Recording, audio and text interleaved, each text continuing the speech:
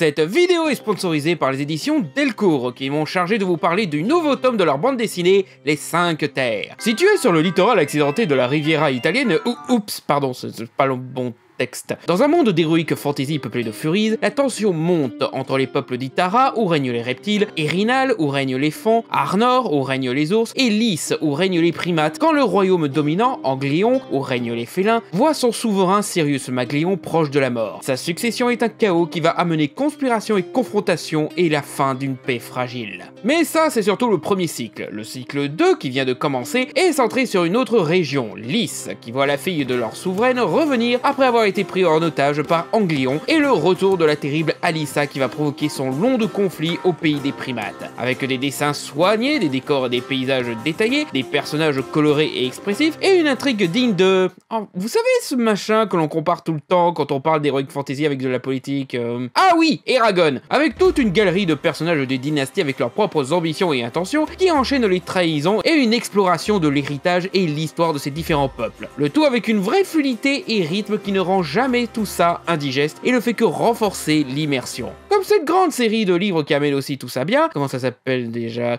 Ah oui, Narnia Bref, Les 5 Terres est un vrai plaisir pour les fans d'épopée médiévale, d'intrigues politiques et de voyages. Si vous voulez des intrigues shakespeariennes, des personnages machiavéliques et du sang, cette BD est faite pour vous. Le cycle 2 vient à peine de sortir son deuxième chapitre dans le tome 8, disponible chez votre libraire. Et waouh, j'ai réussi à faire toute cette présentation sans la comparer à Game of Thrones. Merci encore à Delcourt pour le sponsor et bonne vidéo à tous tous.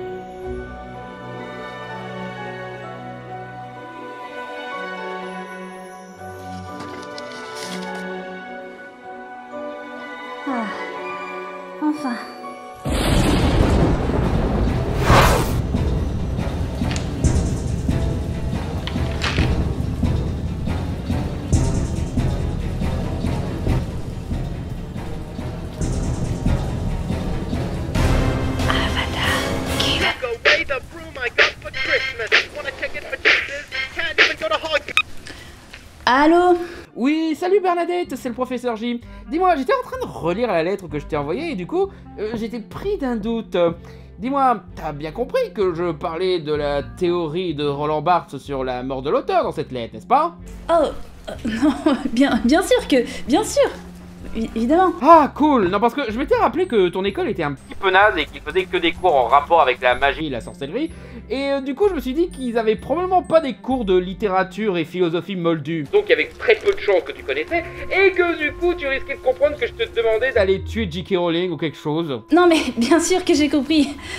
Vous croyez quoi, en fait? Bah, j'avais peur que tes parents portent plainte parce que j'ai essayé d'inciter une élève à tuer quelqu'un. Et euh, aussi, j'avais un petit peu peur que tu essayes vraiment de tuer J.K. Rowling et qu'on allait me mettre ça sur le dos. Alors que merde, d'accord qu'elle est transphobe, tout ça, tout ça, mais euh, elle mérite pas d'être harcelée, tuée ou quoi que ce soit, hein. Oh, mais je vous rassure, c'est pas mon genre. Voilà, du coup, tu viens à mon cours particulier quand t'es dispo? Bien sûr, oui. Super, à toutes. Fais chier. Pour une fois, je pouvais utiliser un sort interdit. Hmm.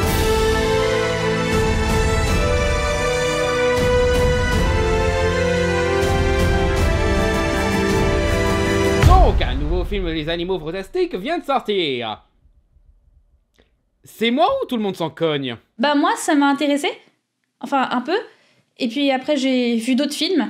Et je me suis rendu compte que comme je vis déjà dans ce monde, bah c'est un peu comme des, biopics un peu chiants en fait. Euh, par contre, c'est pour quand le prochain Alfonso Cuarón? Ah, t'as vu les autres films de lui finalement? Faut dire, cette apathie générale est peu étonnante en voyant le paysage actuel du monde des sorciers. Entre le fait que le précédent épisode de cette licence était pas terrible, en plus de prendre une direction fatigante avant même de se lancer, plus de détails dans ma vidéo consacrée à ce film, le remplacement de Johnny Depp qui énerve les défenseurs de l'acteur et les critiques de l'acteur, car eux ils sont genre « Tu pouvais pas mettre Mads Mikkelsen depuis le début ?» et Et bien sûr, le scandale J.K. Rowling qui a découragé pas mal de fans de longue date d'aller payer une place pour son nouveau film, sachant que ça encouragerait sa position par rapport à la question des personnes transgenres. Dire, pendant que t'y es, balance que l'acteur qui joue le personnage qu'on a rendu euh, ultra important sans aucune bonne raison, se retrouve aussi dans des sales bails, genre il a agressé un couple et est maintenant en prison, mais bordel de merde À ce stade, même Dieu, il veut pas de cette suite Putain, mais niveau projet maudit, on est pas loin de Black Panther 2, là hein En plus, ils sont dans la merde pour Flash, non? Les seuls encore partants pour ce film sont les fans hardcore d'Harry Potter qui pensent que l'enfant maudit mérite d'être adapté en film, Non, non, non, vous voulez pas. les transphobes qui vont voir ce film juste pour encourager leur allié public la plus puissante, alors que pour le film précédent c'était eux qui appelaient au boycott pour envoyer chier l'allié des LGW qui était supposé être J.K. Rowling, Et les bonnes pommes qui vont y aller soit par curiosité morbide, soit par besoin professionnel.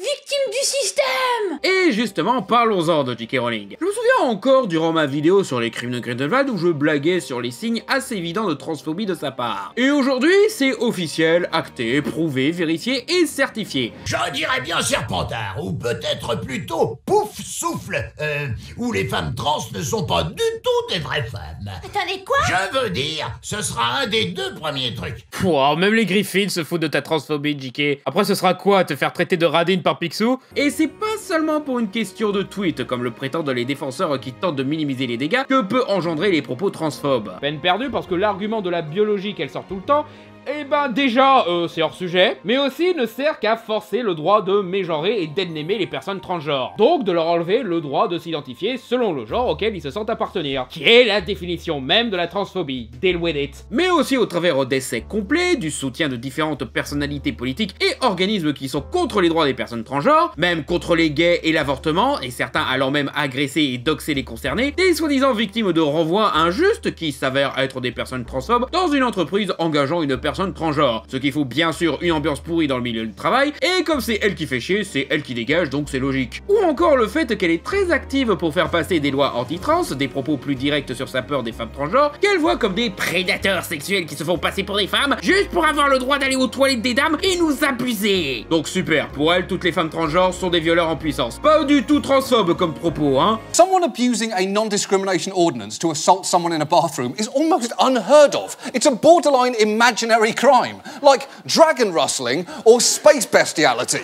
Sure, it's terrible, but it doesn't really happen. Ou encore son dernier bouquin, le cinquième des enquêtes de... Moran Strike Mais c'est quoi ce nom digne de la Action Hero là? Cinquième tome parlant d'un serial killer qui se fait passer pour une femme pour piéger ses proies. Yep, Foulette Ventura la meuf Et là où se pose l'ironie, c'est que, si je me souviens bien, les Cormoran Strike sont écrits sous un autre nom, Robert Galbraith, ce qui est complètement débile. Ça, ça sert à rien, parce que tout le monde sait que c'est quand même elle qui les écrit, donc... Ouais, là, c'est même plus l'hôpital qui se fout de la charité, c'est tous les hôpitaux du monde qui se foutent de ta gueule parce que t'as fait une heure au secours populaire. Donc ouais, J.K. Rowling est une TERF, diminutif de féministe radical excluant les transgenres. Et ça ne sert plus à rien de le nier maintenant, à part par dépendance au merchandising Harry Potter, ou par intention secrète de normaliser la stigmatisation des personnes transgenres en utilisant la voix brillante d'une célébrité pour arranger notre politique. Donc bien entendu, ce genre de propos a lancé une vague de boycott à l'encontre de tout ce qui concerne les créations de J.K. Rowling. Parce que bizarrement, les fans d'une série de bouquins qui parlent d'un groupe de personnes rabaissées et déshumanisées alors qu'ils ne font rien de mal et demandent juste à être n'ont pas envie de donner de l'argent à quelqu'un qui soutient la déshumanisation et le rabaissement d'une communauté alors qu'ils ne font rien de mal et demandent juste à être considérés. Ce qui est très emmerdant pour les fans d'Harry Potter qui ont grandi avec la série de livres et de films, qui voient l'objet de leur fantasme s'incarner dans le futur jeu vidéo, l'héritage de Poudlard, qui a l'air... Ouais, sympa. Très fin de service, donc euh, normal que ça attire, mais sinon, bouf bouf perso. Ça sort vraiment sur PS5 ça. Ce cas a aussi mis en avant une certaine philosophie concernant le rapport entre l'œuvre, l'auteur et le lecteur. Et cette philosophie, c'est la thèse de la mort de l'auteur. Attendez, vous êtes en train de me dire que vous allez m'enseigner des outils d'analyse de cinéma et pas juste faire la critique d'un film dans l'angle de la licence qu'il adapte Ouais. Oui, enfin ce cours de cinéma m'enseigne le cinéma Ouais, moins 10 points, serre d'aigle. Vous pouvez pas, on n'est pas à Poudlard. Ils vous ont viré après que mes parents aient porté plainte contre l'école pour m'avoir montré Birdemic. Oh ouais, putain, fais chier, j'avais oublié ça. C'est con, t'avais appris des trucs sur le cinéma en regardant ce film en plus. Ah ouais, bien sûr, oui, j'ai appris tout ce qu'il fallait pas faire en montage. Voilà Putain de cons de puritanistes qui priorisent leur sectarisme à l'éducation de leurs gosses.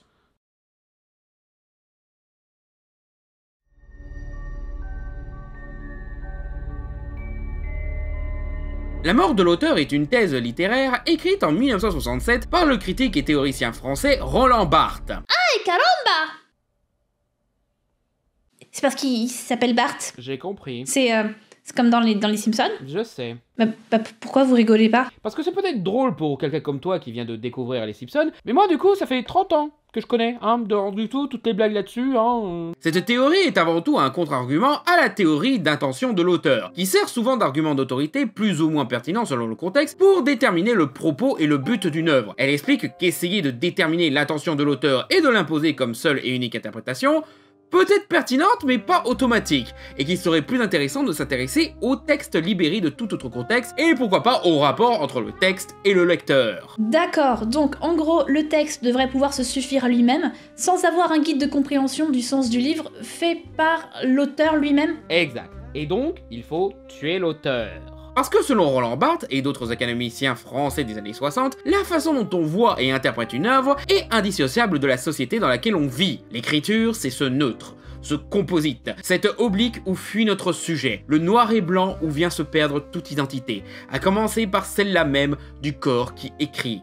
En d'autres termes, là où beaucoup voient en l'auteur un dieu pour ses personnages et les événements racontés, la théorie dit que c'est juste un transcripteur qui se contente de raconter une histoire qu'il ne contrôle pas. Déjà parce que l'auteur en lui-même ne fait qu'écrire une histoire, pas en fonction de son seul imaginaire et de son génie, mais aussi de son environnement et de son contexte social. Et ce qu'il écrit peut être totalement différent de ce qu'il voulait faire comprendre. Comme le disait le sociologue Emile Durkheim, nous sommes l'addition de notre environnement social. Et en cela, nous ne pouvons pas être étudiés sans être le reflet de cette dernière. Je vous invite à vous renseigner sur la théorie holistique de l'être social si le sujet vous intéresse. Par exemple, vous connaissez tous la fameuse histoire de ce prof de littérature qui dit trop de la merde, tu vois, parce que dans un bouquin qu'il étudie, il dit que la chaise est bleue parce que ça représente la mélancolie, machin, truc, machin, mais en fait, quand il demande à l'auteur du bouquin, il répond qu'il a écrit que cette chaise était bleue juste parce qu'il voulait écrire que cette chaise était bleue. Eh bien, Bart, il explique qu'on s'en fout de ce qu'affirme l'auteur. La couleur bleue est quelque chose qui a une certaine symbolique dans notre culture. Et si c'est précisé dans le texte, forcément, on va se focaliser là-dessus. Et l'appliquer au fait que la couleur bleue représente la mélancolie. On peut aussi l'appliquer à d'autres significations, genre la royauté, la noblesse, l'intelligence, le calme, etc.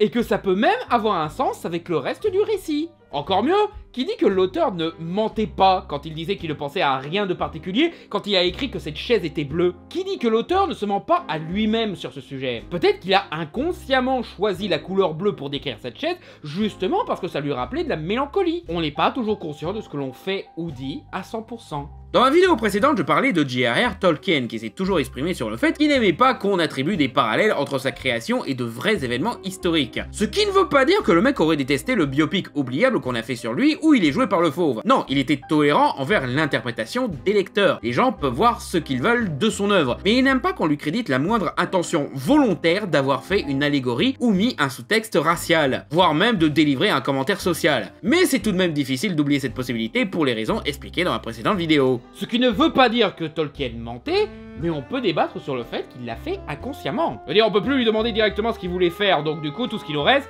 bah, c'est débattre et supposer sur ce que ça signifie. La certitude serait déplacée, mais la discussion est bienvenue. Tolkien ne faisait pas de la propagande raciste ou colonialiste avec le Seigneur des Anneaux, il était même ouvertement contre ça. Mais l'époque et les événements qu'il a vécus, ainsi que d'autres inspirations littéraires, ont façonné son imaginaire de manière à ce que son œuvre ressemble à celle que l'on connaît aujourd'hui. Du coup, qui a écrit le Seigneur des Anneaux? Tolkien ou juste un mec que sachant écrire vivant dans une culture, une société et une époque spécifique Est-ce que c'est si apprécié parce que c'est vraiment une bonne histoire ou parce que ça correspond au goût que développe notre culture et société? Selon Barthes, l'auteur ne crée pas, il n'a fait que retranscrire. Et du coup, comme c'est le contexte historique, social et politique qui a façonné l'œuvre, ce même contexte peut façonner comment on voit cette même œuvre. Qu'est-ce que l'œuvre dit si on le voit dans un autre angle et un autre contexte? Ok, et du coup, l'intention de l'auteur, ce qu'il déclare avoir voulu raconter ou non, on s'en cogne oui et non. Son opinion mérite autant d'être entendue que celle des autres. C'est même normal d'y prêter encore plus attention, bien sûr, il y a pas mal d'œuvres qui sont très personnelles en fait, voire semi-autobiographiques, et c'est toujours intéressant de comparer ce que raconte une histoire et le vécu de l'auteur. Oui, même pour Harry Potter. Ce que Bart dit par contre, c'est que son intention ne doit pas pour autant éclipser ce que les autres y comprennent. Il n'est pas le seul à dire ce que l'œuvre raconte vraiment. Cette façon de repenser le rapport entre l'œuvre et l'artiste peut être vue soit comme un propos intéressant sur l'idée que la vision d'un film est purement subjectif, comme un appel à approfondir la réflexion de l'œuvre au lieu de se contenter de ce que l'auteur affirme, voire même mettre à l'épreuve l'intention de l'auteur en étudiant le résultat final, soit comme un rassemblement de bobos parisiens égocentriques qui vous laissent la péter d'interpréter un livre ou un film de la façon qui leur plaît et leur donne un air intelligent sans se soucier de ce que l'auteur voulait vraiment raconter, parce qu'en vrai, ils n'ont rien compris à l'œuvre. Et tout ça est un petit peu vrai en fait. Ça rejoint ce que dit le sociologue Stuart Hall et les trois théories de l'approche de la représentation. Numéro 1, le point de vue réflectif. L'utilisation des signes et des symboles de notre langage, ce qui en dit plus sur notre société que sur la réalité. Numéro 2, le point de vue intentionnel, où l'auteur a imposé sa signification, que ce choix de langage est dans une intention précise. Et numéro 3, le point de vue constructif, que nous créons le sens en se basant sur les connaissances et concepts de notre système, pour faire comprendre qu'il n'y a pas d'établi final ou d'une signification figée. Donc, il y a ce que les mots disent, ce que l'auteur dit et ce qu'on comprend. C'est plus ou moins ça, oui. Mais comment on choisit celle qui est la plus vraie? Bah c'est un peu ça le truc. La thèse n'est que ça, une thèse. Ce n'est pas une règle imposable totalement sur l'ensemble des créations fictionnelles. Et ce n'est pas juste un délire pompeux sans intérêt. C'est une question qui sert surtout à créer la discussion. Et rester ouvert à la possibilité que ce que revendique l'auteur n'est pas forcément pertinente dans l'interprétation d'une œuvre. Et qu'elle peut avoir un tout autre sens qui lui échappe. Soit par inconscient, soit par totale incompétence. Genre un film antiraciste qui exprime une pensée raciste, car reposant trop sur des biais et clichés, ou un film servant à son réalisateur de dire on peut plus rigoler, alors que le film montre clairement que non, tu peux pas rigoler de trucs graves. Ou une autrice faisant de son mieux pour être appréciée, qui te dit qu'un de ses personnages est gay, alors que ce n'est jamais directement dit dans l'œuvre. J'adore les modèles de tréco. C'est nul Bah apparemment, dans le prochain film, il va y avoir des révélations, comme quoi il est amoureux d'un autre mec, ils le disent dans le spot TV. Because I was in love with you. Ouais, et il lui a fallu quoi? 13 ans pour enfin le dire dans un de ses films au lieu de le mettre dans un putain de tweet Et ça peut s'appliquer à toute création artistique. Des jeux vidéo, genre Detroit Become Human, où l'auteur David Cage prétend ne pas avoir voulu faire un jeu politique. Alors qu'il nous raconte l'histoire d'un groupe de personnes déshumanisées, portant des triangles sur leur torse, qui servent différents niveaux de la société, persécutés par des gens qui nourrissent une haine profonde envers eux, au point de les envoyer dans des camps d'extermination où ils sont foutus à poil et mis dans des fours, ils demandent juste à vivre libre et avoir des droits, se font comprendre par une manifestation et l'expression de leurs sentiments et sensibilités artistiques. Et le jeu s'appelle Détroit Tu les as mis à l'arrière des bus, David Tu nous prends pour des bus Ça peut aussi s'appliquer à des mauvais films, comme le légendaire The Room, dont l'auteur prétendait faire une ode à l'amour et à la paix, mais que beaucoup ont décrypté comme une histoire self-insert, où il exprime toute sa peine par rapport à une relation amoureuse qui a très mal tourné, et qui au lieu de se remettre en question, a préféré blâmer son ex, au point de faire un film sur à quel point c'était une pute. autobiographical. Someone in his life was a Denny, a kid brother he was always looking out for. Someone was a Mark, a better looking friend he was always jealous of. Does that mean that there's a Lisa? Somebody who broke his heart and stabbed him in the back and ruined his life? Well, that's pretty obvious to me. Et quand il a vu que tout le monde se foutait de la gueule de son film, il est allé prétendre que c'était une comédie noire. Ça marche même avec des vidéos YouTube. Ben oui, c'est une expression artistique comme une autre en fait. Le créateur d'une chaîne de critique de films chipoteuse peut prétendre qu'il fait de la satire et que c'est pas sa vraie opinion. Mais quand tu vois comment il est à chaud et ses propos hors de son émission, tu comprends que non, il prend vraiment au sérieux ce qu'il dit. Et les opinions sur cette thèse sont tout aussi variées. Ironiquement, en France, on est plus du côté de l'artiste est le seul maître à décider, ou la théorie de l'auteur au cinéma. Là où aux États-Unis, l'idée de la mort de l'auteur correspond bien plus à leur vision initiale de l'analyse de film. Parce que vous voyez tous ces tocards français qui se plaignent de ce que les Américains apprennent dans leurs universités? Eh ben, ils apprennent des théories et des critiques sociétales bah, qui viennent de chez nous à la base. Seulement, tout ça, c'est jugé par les droitards américains comme étant des trucs anti-américanistes ou communistes. Donc, ils cherchent à diaboliser toutes les écoles qui enseignent les critiques sociétales qui viennent à la base de notre pays. Du coup, quand je vois des connards français se plaindre des universités américaines, j'ai envie de me face-palmer, mais d'une force. Vous pensiez critiquer la bêtise américaine qui n'apprennent pas la même chose que c'est nous, mais en vrai, vous rejoignez la bêtise du sectarisme américain, là. Vous êtes juste fait pigeonner par leur utilisation du mot woke à tout va, quoi. L'artiste n'est pas un être Il peut ne plus être ce qu'il était à une époque, perd la main et surtout, l'artiste n'est pas seul. Pour beaucoup, le réalisateur est l'artiste. Il écrit avec sa caméra, comme le disait le réalisateur Alexandre Astruc. Mais pour d'autres, le réalisateur n'est qu'un rouage d'une plus grosse machine qui est aussi composée d'un scénariste, d'acteurs, de directeurs artistiques et autres influences qui ont façonné le film. On va prendre par hasard Truman Show. Qui est l'auteur de ce film? Est-ce que c'est Peter Ware et le soin particulier qu'il apporte au thème de l'humain séparé de la civilisation? Est-ce que c'est Andrew Nicole et sa façon d'écrire et d'utiliser les dystopies et la satire sociale pour un propos sur l'humanité et l'industrie de la fiction? Ou bien est-ce Jim Carrey dont le jeu d'acteur est au cœur du film et apporte toute la crédibilité et l'âme du personnage de Truman? Est-ce que c'est Peter Bizio et son travail sur la photographie qui rend le film si marquant par son imagerie simple mais iconique? Est-ce que c'est le producteur Scott Robin qui a financé et offert la liberté artistique nécessaire pour faire ce film ou qui a su choisir les bons gars pour le bon projet? Ou bien est-ce un peu tout le monde? Fort probable que le film aurait été moins bien sans Maurice chercher du café aussi, hein. Le cinéma est un art collectif. Tout le monde est important. Mais si cette idée attire autant les Américains, c'est parce qu'ils ont un petit peu tendance à trouver que euh, le concept d'auteurisme est un petit peu prétentieux. C'est une critique faite à pas mal de réalisateurs comme M. Night Shyamalan, Lester Wachowski ou Ryan Johnson. Et autant je trouve ça parfois injuste, genre vouloir exprimer quelque chose ou vouloir faire une œuvre personnelle, ça n'a rien de prétentieux, mais parfois ça peut être justifié. Ridley Scott, réalisateur des excellents Alien et Blade Runner, mais aussi un réalisateur d'un tas de bouse que les fanatiques refusent de prendre en compte ou se ridiculisent à faire croire qu'ils sont plus profonds qu'ils ne le sont, et surtout un gros con prétentieux qui veut s'approprier complètement des mythes, quitte à chier dessus. Euh, on dit du mal de J.K. Rowling ou de Ridley Scott dans cet épisode, je me souviens plus. Non mais faut bien que j'explique la thèse en utilisant des exemples avant d'y venir, ça va Par exemple, dans Blade Runner, la question de est-ce que Descartes est un répliquant? Si on se fie entièrement à l'auteur, oui, c'est un répliquant parce que j'ai rajouté une licorne dedans qui n'a même pas été tournée pour ce film, car ça vient de mon nanar avec Tom Cruise. Je suis trop intelligent d'avoir fait ce sous-texte auquel je n'avais pas pensé quand j'avais fait ce film à l'époque. Admirez-moi pour être un génie. Je suis l'homme le plus intelligent de la planète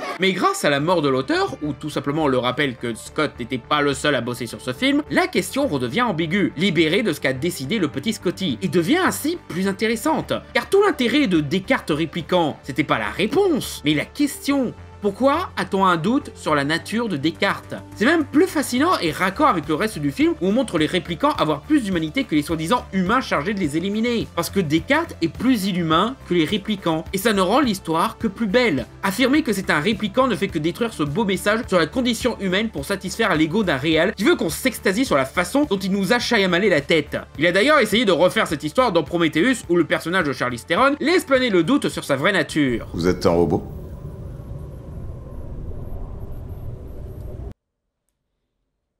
Subtil Rien que la question rend le traitement plus balourd. On est censé comprendre nous-mêmes l'idée qu'elle est plus froide que l'androïde David. Eh, ça fait même partie de la tragédie du personnage, qu'elle essaye d'être aussi froide qu'un robot pour être digne de son père, qui préfère une machine à sa propre fille. Mais ça, même le grand génie Ridley Scott, dont l'ego prétentieux a porté le film à lui tout seul, ne le comprend pas. Comme quoi, l'auteur aussi peut ne pas comprendre ce qu'il écrit. Ça peut être aussi un entre-deux, où le lecteur, en étant confronté à une intention d'auteur qui ne lui convient pas, essaye de se créer une alternative pour progressivement arriver aux mêmes conclusions que l'auteur. C'est le cas de l'adaptation du Petit Prince par Mark Osborne, adaptation très livre et métatextuelle de l'œuvre de Saint-Exupéry, où une jeune fille vivant dans un monde corporatiste et liberticide réapprend à être une enfant grâce à un vieil aviateur qui lui raconte l'histoire du Petit Prince. Mais quand vient... Euh... Est-ce que c'est spolié de dire ce qui se passe dans un livre comme Le Petit Prince?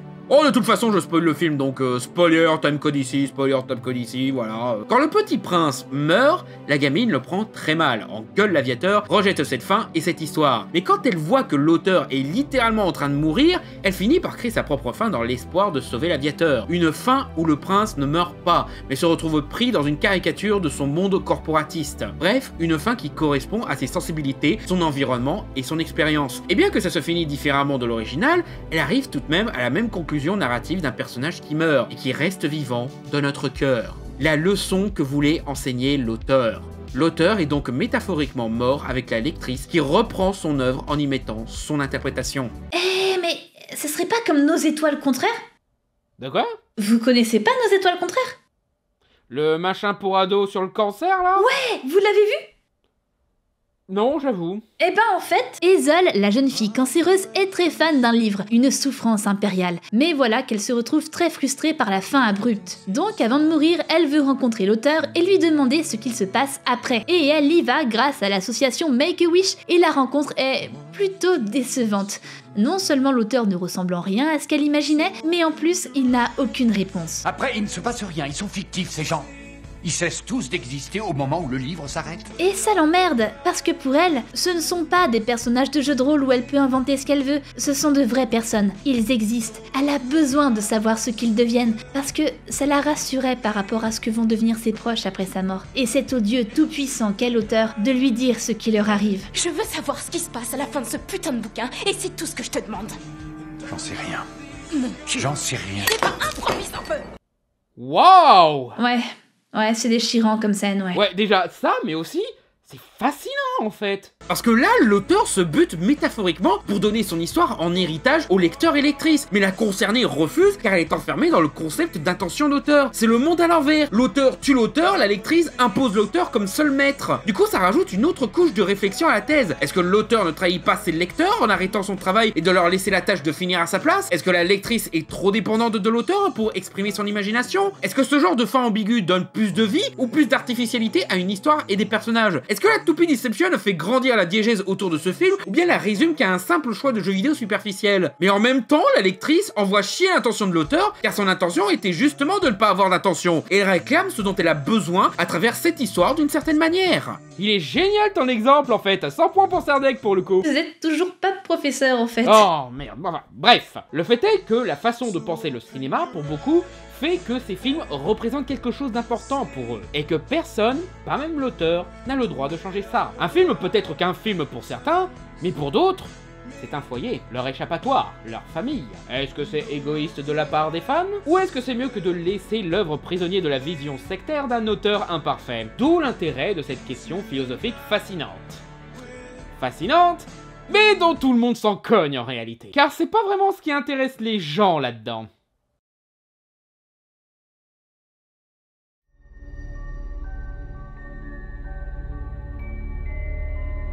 Comme toute question philosophique remettant en question la perception de l'art pour pousser à la réflexion et l'analyse, beaucoup utilisent ça sans vraiment comprendre la logique derrière. Et ce, juste pour se sentir moins coupable d'aimer un film réalisé par un connard. Pour ainsi ne pas avoir à réfléchir à ce qu'il regarde.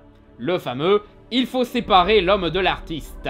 Ouais, je regarde Off sans me soucier que l'acteur principal est un harceleur sexuel. Ouais, je célèbre la victoire de J'accuse sans me soucier que sa victoire permet à un détourneur de mineurs de fuir la justice. Ouais, je vais acheter ce nouveau jeu Harry Potter sans me soucier que mon argent confortera le discours des transphobes. C'est toute la blague de Hatsune Miku. On remplace l'auteur juste pour pouvoir continuer à profiter sans culpabilité de l'œuvre. Parce que c'est marrant de se dire que c'est une vraie fille gentille, talentueuse et non problématique qui a écrit ses propres chansons et non que c'est un outil avec des tas d'artistes derrière elle. Donc tant qu'à faire, elle pourrait être euh, la créatrice de Minecraft, la compositrice des musiques de Dragon Quest, et pourquoi pas, l'autrice d'Harry Potter. Et dit comme ça, oui, ça fait très égoïste. Mais je le comprends en fait. Dire, c'est normal de vouloir ignorer ces aspects problématiques dans les œuvres qu'on aime. Et je suis bien placé pour savoir à quel point ça peut faire mal parfois, parce que, bah moi aussi, j'aime des œuvres qui ont été faites par des gens qui se sont avérés plus tard être des connards. On en a tous, disons-le. J'aimerais moi aussi pouvoir me libérer de l'idée qu'un acteur que j'aime beaucoup soit membre d'une secte débile ou un antisémite. J'aimerais pouvoir profiter de Beyond Good and Evil sans penser au fait que son créateur était un vrai tyran fou avec son équipe. J'aimerais profiter de Shining sans penser au fait que cette pauvre actrice fut détruite par le réalisateur. C'est humain, donc je ne blâme pas la volonté d'oublier tout ça. Mais au bout d'un moment, oublier n'est pas la solution. On laisse des tortionnaires, des scientologues, des violeurs, des pédophiles, des sexistes ou des racistes s'en tirer parce qu'on peut pas se passer de leurs produits. Et je ne dis pas qu'on devrait avoir honte d'avoir donné de l'argent à ces enfoirés à l'époque où on ignorait que c'était des enfoirés parce que, bah, justement, on l'ignorait donc euh, voilà. Mais maintenant qu'on le sait, on pourrait au moins, ne serait-ce que l'assumer, ou se préparer intellectuellement à la question. C'est un sujet très compliqué, je n'essaye pas de faire la morale aux gens, parce qu'il n'y a pas de réponse claire et nette sur ces cas. Si je regarde un film fait par une personne néfaste, est-ce que juste le voir est une approbation, ou est-ce que le voir sans payer, ça passe? Si je veux le voir pour avoir une opinion, est-ce que je fais juste mon travail de critique, ou je me rends complice du système? Si je vais à Universal Studios qui a une section entièrement consacrée à Harry Potter, est-ce que ça fait de moi un transphobe Mais Moi, je veux pas être transphobe. Vous voulez juste me faire les attractions Mario, moi T'es pas transphobe, n'est-ce pas, ma... Attends. T'as fait quoi, Bordeaux? Putain, Mario, non Et si je boycotte? Les autres personnes qui ont bossé sur ces films et qui n'ont rien fait de mal, ils vont trinquer aussi, non? Ou bien est-ce que c'est un mal nécessaire pour se débarrasser d'un élément corrupteur? Putain, c'est chiant, putain Ah, mais oui, je vois, c'est comme The Good Place. En fait, tu pensais acheter une tomate, mais en réalité, ça soutient tout un tas de choix néfastes que tu contrôles pas. Et donc, on fait comme on peut, au cas par cas. Mais t'as vidé Netflix, toi, en fait, t'as rattrapé beaucoup de trucs depuis le temps. Bah, ça fait bientôt trois ans, donc forcément. Cool. Le problème, c'est que tous les efforts mentaux pour essayer de séparer l'homme de l'artiste ne suffisent pas forcément. Prenons par exemple un réalisateur que j'aime beaucoup, Brian Singer. Beaucoup l'applaudissent pour Usual Suspect, mais étrangement, j'aime tous ses autres films sauf celui-là. Et Bohemian Rhapsody.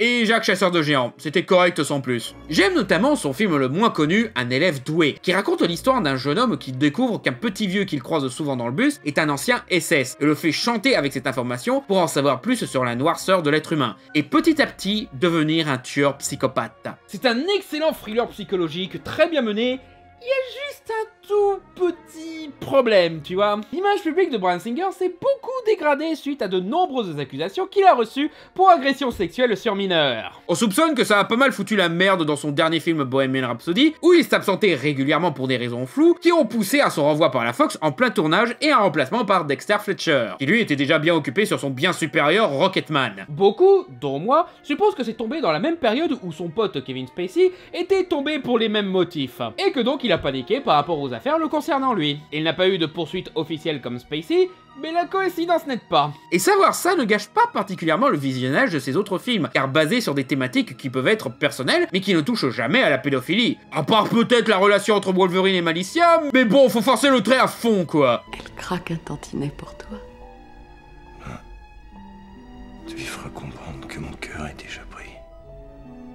Par contre, dans le cas d'un élève doué, c'est particulièrement dommageable. Ce film met pas mal en avant l'intimité de jeunes garçons, notamment une scène de douche avec plein de gamins tout nus. Scène qui a valu à Brian Singer un procès classé sans suite, où on l'accusait de forcer ces jeunes hommes à se foutre à poil. Encore moins aidé par le destin tragique de Brad Renfro, l'acteur principal de Un élève doué, mort dix ans après suite à une overdose d'héroïne. Et, spoiler, encore une fois je mets le thème code ici si jamais vous avez quand même envie de voir le film malgré tout ce que je suis en train de raconter, la dernière scène du film montre notre protagoniste menacer son prof. Comment? En le faisant passer pour un pédophile en prétendant qu'il l'a touché. Vous devez avoir eu envie de me serrer la main ou, ou autre chose. Attendez, qu'est-ce que vous... Vous allez vraiment dire que, que, que je vous ai fait quelque chose? Je ne veux pas vous entraîner avec moi, mais je le ferai. Je suis plus fort que vous à. Ce que je vais révéler ne s'effacera jamais. Pas pour vous.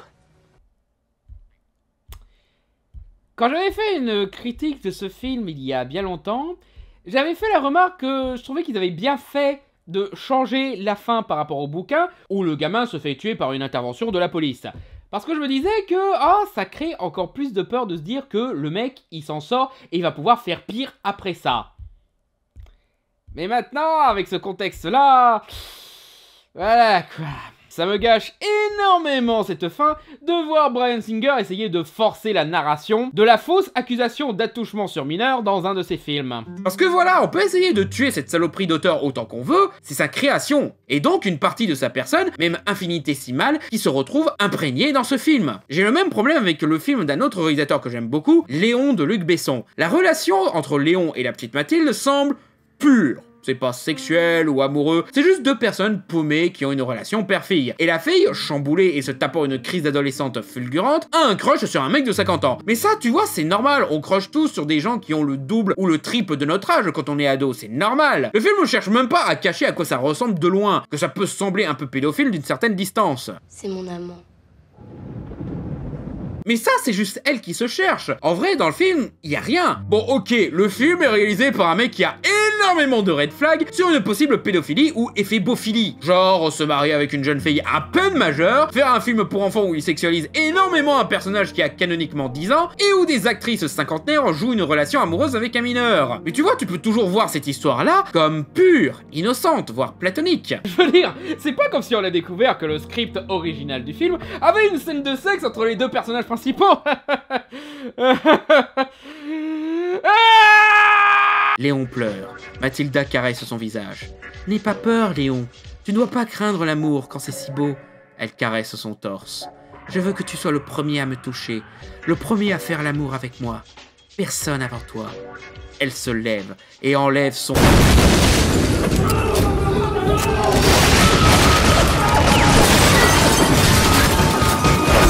Ouais, Léon et Mathilda devaient...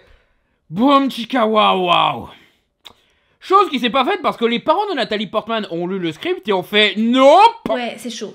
C'est ultra chaud. Mais en même temps, c'est juste un script abandonné. On peut pas juste l'ignorer Ok. Essaye d'oublier cette information en regardant des scènes comme celle-ci. Like a virgin. Ow! Touched for the very first time. Euh. On est en train de retourner à cette partie de vos cours de cinéma que j'aime pas du tout. Voilà, tu peux plus maintenant que tu le sais. Peu importe nos efforts, maintenant qu'on sait que c'était censé être une vraie romance sexuellement active, on peut plus le voir autrement. Et parce que, référence à Bodiner oblige, le fait que Luc Besson a recopié une bonne dizaine de fois le scénario de Léon où le tueur répenti se tape la jeune nana qui l'accompagne, voilà quoi. Putain, maintenant je suis en train de penser à Wasabi où l'ananas et sa fille. Ah En autre exemple aussi lié à la pédophilie, Ça fait beaucoup de pédophiles quand même, non? Ouais, moi non plus, je comprends pas pourquoi il y a autant de pédophiles ou de pédophiles présumés dans cette industrie. le cas de Victor Salva, réalisateur de la trilogie Jeepers Creepers. Des films d'horreur que je trouve assez oubliables et peu intéressants. La seule note tristement intéressante est que le réal a été en prison pour abus sexuels sur Nathan Forrest Winter, acteur principal de son film Clown House, qui était âgé de 12 ans à l'époque. Le mec a même filmé son délit et, cas exceptionnel, il a plaidé coupable et a même révélé d'autres de ses victimes, ce qui lui a valu 3 ans de prison. Ah voilà. Lui, au moins, il admet. Bon, j'ai pas à l'applaudir non plus, mais. euh, Ouais, c'est là que ça devient intéressant parce que le mec a payé pour ses crimes. Et c'est pas juste des suppositions basées sur des faits inquiétants. Non, non, là c'est acté officiel. Il a lui-même dit le mec est un pédophile et a détourné des tas de mineurs. Ça n'a pas empêché Disney de l'engager et Francis Ford Coppola de produire certains de ses films. Mais bon. Oh, engager des détourneurs de mineurs chez Disney, c'est pas grave. Quand on écoute les parents, c'est grave que quand on engage des homosexuels. Et la situation du réal l'a beaucoup inspiré pour sa trilogie Jeepers Creepers, qu'il a admis être une forme d'exorcisation de ses pires instincts. Ces films mettant en scène une créature monstrueuse s'en prenant à des jeunes hommes, ça en devient même le seul truc que je trouve intéressant dans ces trois films médiocres. Le fait qu'un auteur voulait utiliser son art pour se séparer du monstre qui est en lui. Donc, la pédophilie du mec l'a inspiré pour créer un objet filmique intéressant et pas moralement condamnable. Il montre l'agression d'un jeune homme comme un truc monstrueux. Il n'essaye pas de rendre ça sexy ou quoi que ce soit. Et il ne suggère pas que les victimes de viol sont des menteurs manipulateurs démoniaques ou je ne sais quoi. Ou encore qu'au fond d'eux, ils rêvent que de ça. Et encore mieux, le mec a payé pour ses crimes. Donc ces films sont moralement acceptables, même si leur origine viennent d'actes monstrueux. D'ailleurs, comment vous savez tout ça? Tout ça. Toutes les histoires sur la pédophilie de ces mecs et tout. Ben, j'ai vu des vidéos intéressantes en parler, j'ai vu des pages Wikipédia, je suis tombé sur un making-of, je suis allé trouver le script original, euh, j'ai vu différents articles de journaux parler de ces scandales. euh, pourquoi tu demandes ça? Bah, les mecs qui ont fait la théorie de la mort de l'auteur, ils avaient pas tout ça, si? Ah Bah oui, en fait. Maintenant que tu le dis, c'est vrai que c'est un peu le souci de cette théorie. Elle date de 1960. En 1960, on n'avait pas une plateforme disponible pour tous, donnant accès à toutes les connaissances acquises par l'homme sur tous les domaines, et qui donc permet de savoir ce que l'auteur avait en tête quand il a fait son œuvre. En 1960, il fallait questionner directement l'auteur, s'il était encore en vie, ou faire des recherches archéologiques pour en savoir un maximum sur les raisons de l'auteur. En 1960, on n'avait pas des DVD ou Blu-ray remplis de commentaires audio et autres bonus qui rendent le propos de l'auteur encore plus clair. Ou pour les films classiques, de spécialistes et d'historiens retraçant tout le processus de l'auteur. En 1960, tu ne pouvais pas envoyer un tweet à Stanley Kubrick pour lui demander si Shining avait un message caché sur sa participation au faux atterrissage lunaire. Tu peux pas regarder les anecdotes derrière la scène ou les potins de l'époque pour savoir si William Shakespeare a vraiment écrit Roméo et Juliette car il était dans une relation secrète avec une noble. Du coup, t'avais que le texte et tu devais déterminer tout seul son sens. Mais maintenant, on a toutes les infos qu'on cherche à disposition. Tu peux te renseigner sur les précédentes versions du script de Léon et savoir ce que le film devait raconter. Tu peux demander à Lily Wachowski si Matrix avait un sous-texte sur la transidentité et tu peux demander à Chris Lord si la chanson Lego Tout est super génial était une critique du consumérisme qui impose un statu quo avec des médias superficiels. Même quand t'as rien demandé, l'auteur ouvre sa gueule pour attirer de l'intérêt. On ne peut plus ignorer l'attention de l'auteur. Réfléchir à l'œuvre en elle-même sans bloquer notre réflexion par rapport à ce qu'a dit l'auteur Oui, bien sûr, totalement, on peut le faire. Mais on se doit au moins de le prendre en compte pour ne pas bloquer notre réflexion dans l'autre sens. Mais là où des gens se contentent de prendre la parole de l'auteur comme argent comptant, sans les remettre en question, d'autres, à l'inverse, préfèrent leur vision confortable à ce que l'auteur a réellement voulu dire. Je ne dis pas que des interprétations différentes ne devraient pas exister, au contraire. Il y a une différence entre l'attention et l'exécution et on se doit de l'étudier. Je dis juste que je trouve irresponsable d'ignorer ce que l'auteur a voulu faire juste parce que ça nous arrange pas. Si on appliquait cette théorie sans réfléchir sur ses œuvres, bah ce serait la porte ouverte à tout et n'importe quoi. Prenez Squid Game, une série qui a un message clairement anticapitaliste qui démontre que la méritocratie est une merde qui sert d'excuse pour l'ego de gros connards prêts à commettre les pires atrocités pour l'argent. Ben pas mal vont te dire quand ça critique le communisme en fait.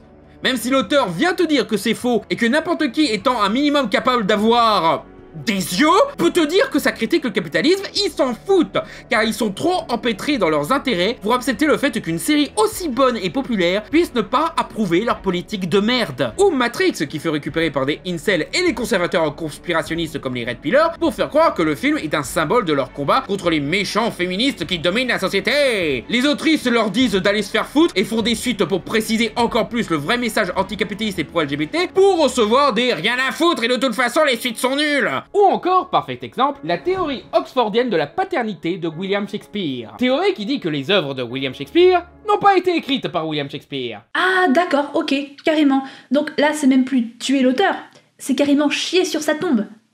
Mais pourquoi ils disent ça? Pourquoi ils font ça? Parce que, et là, accroche-toi bien parce que c'est renversant de conneries, ces œuvres seraient soi-disant trop sophistiquées pour avoir été écrites par un prolo comme William Shakespeare. Parce que tu vois, c'est bizarre que les seules preuves qu'on ait de l'existence du mec, c'est ses œuvres et ses papiers de taxes. Le plus grand auteur de notre époque paye son loyer comme un pauvre C'est impossible Il y a forcément anguille sous la boule de gomme Et donc les mecs ont inventé une théorie du complot à la con, disant que William Shakespeare est juste un charlatan qui s'approprie le crédit, tandis que le vrai auteur reste une figure inconnue qu'ils peuvent moteler pour en faire leur self-insert. Et comme ce sont des mecs d'Oxford, c'est un bourgeois ayant une éducation supérieure qui aurait pu continuer la lignée royale après avoir baisé Elisabeth Ier, la reine vierge, qui du coup n'était pas vraiment vierge, parce qu'ils étaient ce genre de mecs, et ainsi maintenir la puissance de l'Empire britannique qui aurait conservé les colonies américaines et indiennes. Et comme Freud s'y est mêlé, la reine Elisabeth était aussi sa mère, évidemment. Mais c'est pas, c'est pas le scénario d'Anonymous, ça? Oui, oui, le film de Roland Emmerich. Ce qui montre la crédibilité de cette théorie qui a suscité l'intérêt d'un mec qui adore des théories du complot comme euh, la zone 51, les pyramides qui auraient été construites par des extraterrestres, ou encore la prophétie Maya qui annonçait la fin du monde en 2012. Mais là où je veux en venir, c'est que vous vous rendez compte de la situation? Parce que Shakespeare était pas un mec de la haute et n'avait pas de diplôme, il pouvait pas avoir le moindre talent d'écriture? Donc ils inventent leur propre histoire pour ne pas admettre que le talent peut venir de la rue? Non et puis, euh, seule une éducation supérieure aurait pu blablabla mon cul Dans Titus qui se passe dans la Rome antique, il y a des horloges. T'as une gueule sauvage dans Comme il vous plaira qui se passe en France. L'éducation supérieure vous repasserez, excusez-moi hein et c'est sans parler de ces histoires qui étaient basées sur des trucs préexistants, genre Richard III qui est une caricature d'un roi très impopulaire, César est bien entendu tiré de l'histoire de César, Roméo et Juliette est inspiré d'une histoire italienne. Parce qu'encore une fois, un auteur écrit sur ce qu'il sait. Pas forcément à la Shakespeare in Love, mais voilà. La théorie de la mort des auteurs a des avantages, mais aussi des extrêmes problématiques, et pourrait être utilisée pour dénaturer complètement une œuvre. Genre euh, faire croire qu'American History X est un film glorifiant le néonazisme, que Captain Marvel ou les derniers Jedi sont de la propagande misandre, que le dictateur de Chaplin est une lettre d'amour envers Hitler, que 300 parle de la constipation, etc. Mais ça ne marche pas comme ça. Imposer de force une règle, sans la moindre nuance ou argument pour les substantifier, c'est la mort de la réflexion et de la recherche. Et justement, si Barthes a mis au point cette théorie, c'est justement pour pousser à la réflexion et l'analyse. Que ce soit du côté des pro-théories de l'auteur et pro-mort de l'auteur, il faut réfléchir à ce que raconte l'œuvre. Il faut réfléchir à sa pertinence au lieu de sortir une théorie philosophique comme un joker anti-intellectuel. Comme les gens font avec J.K. Rowling, quoi. Oui, comme font les gens avec J.K. Rowling.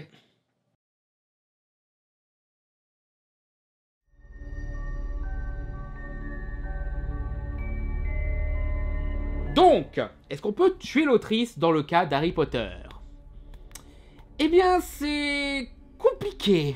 Parce que d'un côté, le livre transmet des valeurs sociales qui semblent contraires aux valeurs sectaires que J.K. met en avant dans son discours transphobe. Que ce soit le simple concept d'un jeune enfant persécuté à cause de sa nature et de ses origines par une famille traditionnaliste et sectaire qui sort du cadre familial pour aller dans un monde où il sera libre d'être lui-même. Genre, il sort du placard Je vois pas comment on peut faire plus clair comme parallèle. Ou même des éléments de l'univers critiquant les formes de racisme envers les moldus, les sans-mêlés et d'autres créatures magiques comme les elfes. C'est comme les mutants des X-Men ou les carnivores de Zootopie. On peut appliquer toutes sortes de parallèles avec des catégories de personnes. Noirs, arabes, juifs, gays, et oui, même trans. James m'a d'ailleurs conseillé plus d'une fois de me transformer définitivement. La queue, je m'y serais habitué. Il y a une raison pour laquelle la transphobie de J.K. Rowling a bouleversé les fans. Parce que ces livres les ont inspirés dans leurs engagements progressistes et militants. J.K. Rowling était même vue comme un modèle de réussite dans le combat social. Si on devait comparer la J.K. Rowling actuelle à un personnage du livre, bah ce serait Dolores Ombrage. L'autoritaire qui ignore tout un pan d'éducation juste pour rester dans des valeurs qui l'arrangent, en faisant comme si les mensonges qu'elle impose sont des faits indéniables, quitte à virer ceux qui la contredisent, et inciter à la violence contre ceux qui démontrent qu'elle a tort, utilisant ses fans et ceux qui veulent juste une excuse pour attaquer ceux qu'ils n'aiment pas, abusant ainsi de son influence pour imposer des lois liberticides, et le tout en gardant tant bien que mal l'image de la gentille. En fait, je déteste les enfants. Même quand J.K. Rowling essaye de faire croire qu'elle est la victime et qu'elle ne fait rien de mal, elle passe de Dolores Ombrage à Grindelwald. Oui, je sais que dans ma vidéo sur le crime de Grindelwald, je disais que son discours s'approchait pas mal de Donald Trump. Mais tu vois, c'est ça qui est sympa avec les allégories. Il ne s'arrête pas à une seule cible. Après tout, Grindelwald se présente comme un faux allié, un faux pacifiste qui se prétend objectif et sans jugement discriminant, qui comprend toute ta peine, mais qui en vrai manipule son public pour arranger cette discrimination et sa supériorité. On raconte que je déteste les noms magiques. Je ne les déteste pas. Le voilà, notre ennemi. Leur arrogance. Ils ont anéanti leurs amis sorcières et sorciers, dont le seul crime a été de vouloir connaître la vérité. Ce n'est pas nous qui sommes violents. Il n'est pas interdit de l'écouter parler. Faites le moins possible usage de la force. Ne soyons pas tels qu'il nous décrit. Enfin, Grindelwald est volontairement machiavélique et mensonger dans son discours, alors que J.K., elle est plus ignorante sur les sujets qu'elle traite et refuse d'écouter quand on la corrige à cause de son ego, même quand ce qu'elle dit est relativement grave. Euh, c'est pas faux. Oh merde. Du coup, c'est Gilderoy Lockhart? C'est un petit peu comme avec George Lucas, où pas mal d'éléments du personnage de Dark Vador rejoint un peu l'histoire de son créateur, comme je l'avais expliqué dans ma vidéo sur la nature d'artiste de Lucas. Sauf que dans le cas de Lucas, ça s'approche presque de l'autocritique volontaire et l'aveu d'échec. C'est lui-même comparé à Jar Jar Binks, pour dire. Là où JK devient comme les personnes qu'elle disait combattre. Je veux dire, regardez les extrémistes religieux qui voulaient interdire son livre pour protéger les enfants, et que JK a plus directement critiqué dans le premier film Animaux Fantastiques. Bah maintenant, ils sont de son côté pour protéger les femmes et les enfants des méchantes personnes Ce qui me fait penser, vous vous rappelez de l'époque où on reprochait à J.K. Rowling d'être une LJW qui forçait des gays et des noirs dans toutes ses œuvres? Hein? Oui, oui, messieurs les anti-woke qui se font passer pour des chevaliers blancs pour protéger la pauvre J.K. Rowling. Je me souviens de l'époque où vous la défonciez quand on pensait que c'était une alliée des LGBT. J'étais là, Gandalf. Vous faites référence à des textes hérétiques J'étais là il y a même pas 3 ans. J'étais là quand les anti-EGW faisaient des blagues sur JK, qui réécrivait Hagrid en personnage transgenre et affirmait que son délire de LGW allait gâcher Harry Potter en affirmant qu'Hermione pouvait être noire. J'étais là quand il l'avait rebaptisé Just Kidding Rowling. J'étais là quand la dignité des anti-woke a failli. Parce qu'ils en avaient une avant? Pas faux. Mais bon, c'est quand même honteux de les voir lui faire de la lèche maintenant, juste parce qu'elle pense la même chose que sur les personnes transgenres. C'est pareil pour Gina Carano, il prétendait qu'elle gâchait Mandalorian, mais dès qu'on a découvert que c'est une transphobe pro-Trump, c'est la meilleure actrice du monde Sinon, personne pour défendre Catherine Watterson qui s'est fait Margot Kidder dans Superman 3 après avoir critiqué la transphobie de J.K. Rowling? Non?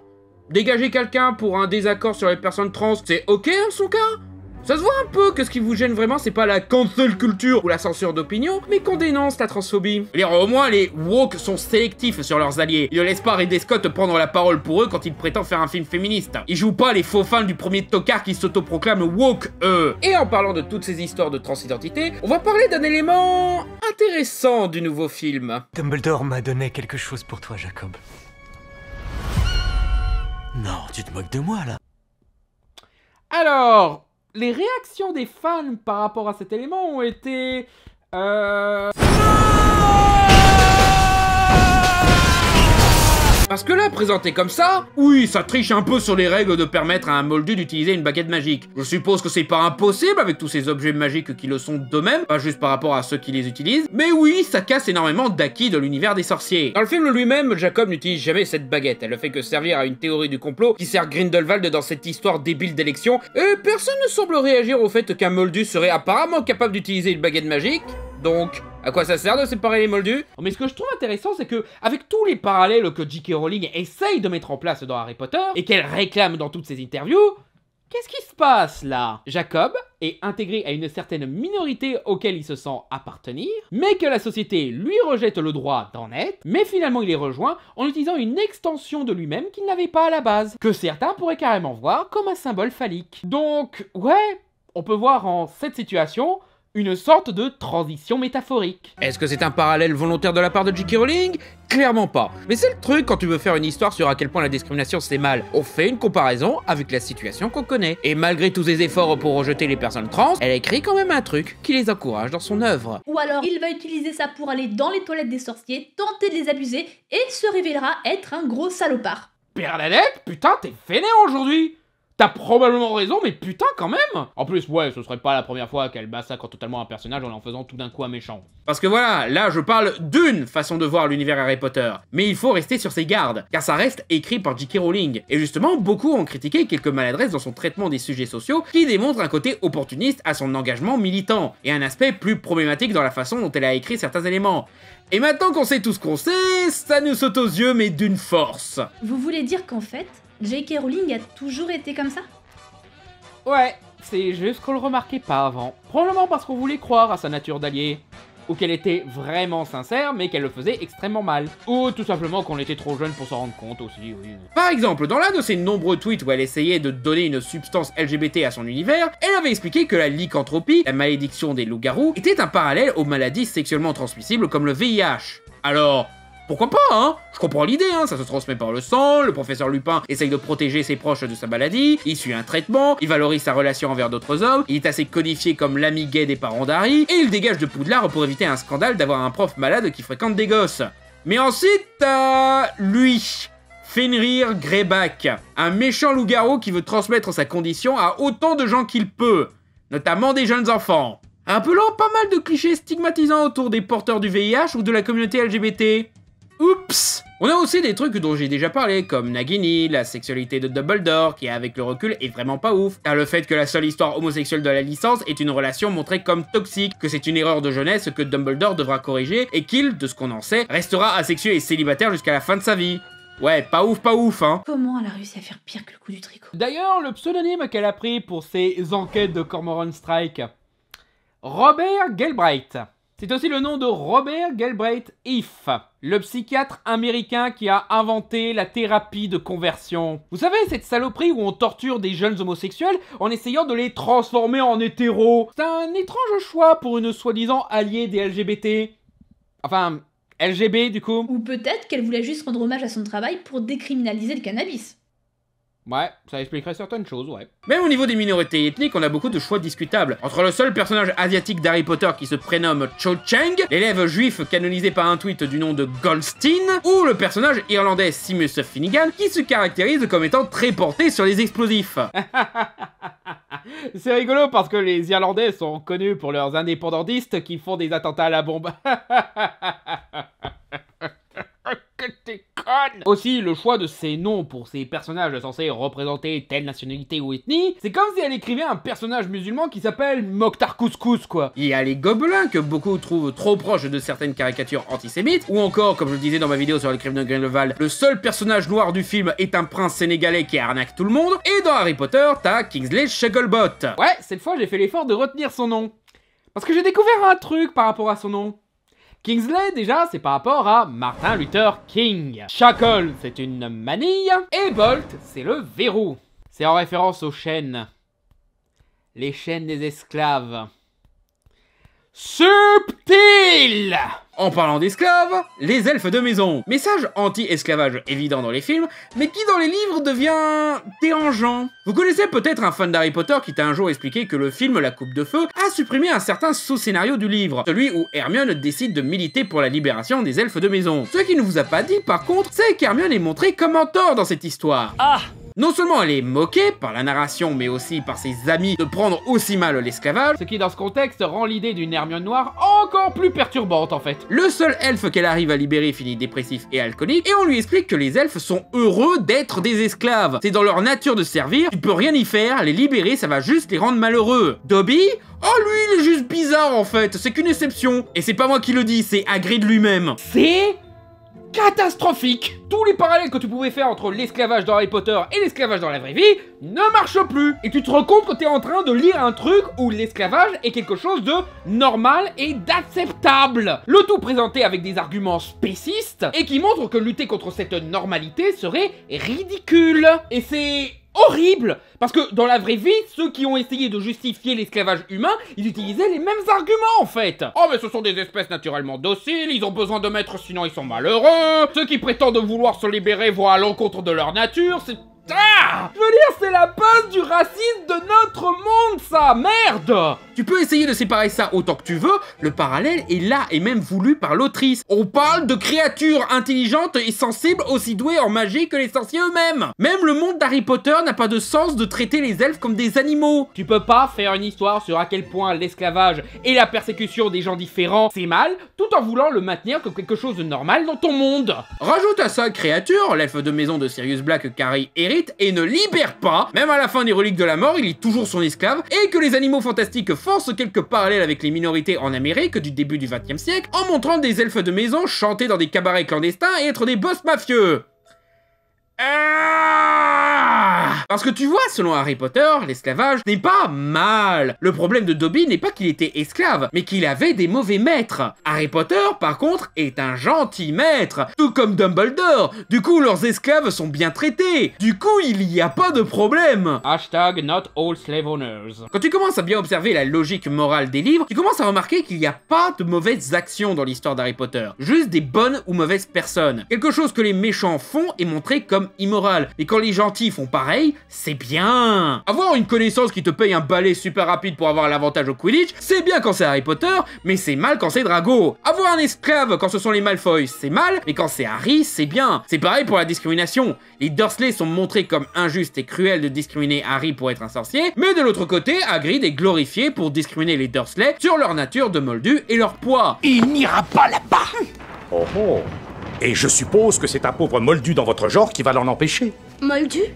Ceux qui n'ont pas de pouvoir magique. Ce n'est pas la discrimination qui est mal. Si t'es un méchant discriminateur, c'est mal, mais si t'es un gentil discriminateur... Ça n'existe pas les gentils discriminateurs, connasse Le poids est d'ailleurs un sujet de blagues cruelles et de descriptions dégoûtantes dans l'ensemble des livres. Même quand Dudley ne fait rien de mal, il est puni et décrit comme dégueulasse. Juste pour avoir mangé un bonbon, bordel Et ça s'aggrave dans son livre Une place à prendre, où elle écrit un personnage tellement gros que tout le monde se demande en le voyant comment il voit sa bite Putain J.K. Rowling a le même niveau de répartie et de conneries que certains trolls qui viennent me pourrir dans les commentaires.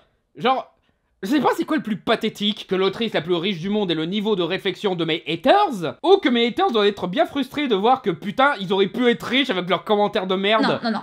Le plus pathétique, c'est que J.K. Rowling, la première chose à laquelle elle pense quand elle voit des gros, c'est leur baguette magique. Oui, aussi, oui. Mais du coup, la mère de Ron et Jacob, ils sont pas ridiculisés sur leur poids, eux. Ah, mais pour eux, elle a pensé à tout. Ils ne sont pas gros, ils sont enveloppés. Elle ne passe pas des heures à les décrire comme des baleines ou quelque chose comme ça, parce que eux, ils sont gentils, tu vois. Et disons-le, Jacob, il reste un petit peu le comic relief qui fait des gags balourds, quoi. Je veux j'adore le mec, hein, mais... Même son univers montre des signes d'ignorance et de biais frappants. Par exemple, les grandes écoles à travers le monde. Officiellement, il y en aurait 11, dont 3 qui n'ont pas de nom. Tu peux remarquer que là où l'Europe a 3 grandes écoles, le continent africain entier n'en a qu'une seule. Elle s'appelle Ouagadou. Il y aurait apparemment d'autres petites écoles à travers le continent, mais niveau world building, bof bof, hein. Le Japon, qui a une population deux fois plus grande que le Royaume-Uni, n'a qu'une grande école, et c'est décrit comme l'école la plus petite parmi les écoles de sorciers. Donc apparemment, pour J.K. Rowling, les Japonais sont moins magiques. Et le reste de l'Asie, qui représente un tiers de l'humanité, Bon, on sait pas. Pour en sait, elle est entièrement concentrée dans une seule grande école.